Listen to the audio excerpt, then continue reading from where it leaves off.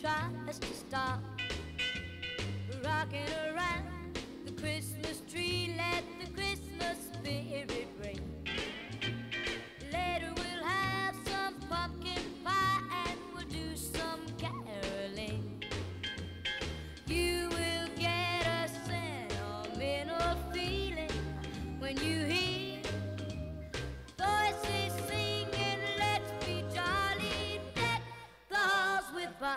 lots of holly rocking around the Christmas tree. Have a happy holiday.